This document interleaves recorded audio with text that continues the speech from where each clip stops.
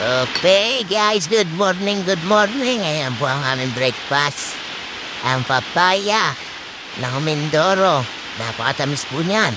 Meron po kami ang ginisang mais, bagong pitas.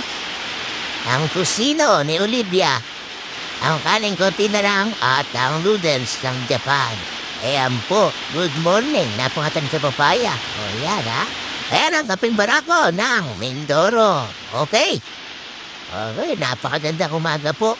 Umuulan, napakasarap kumain sa labas.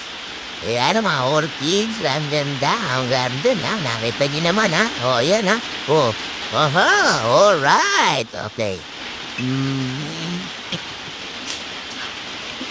Nakita niyo, ha? Ayan, ha? Mga orchids, ha? O, okay, o, yan, no? Dami namin yung halaman, no? O,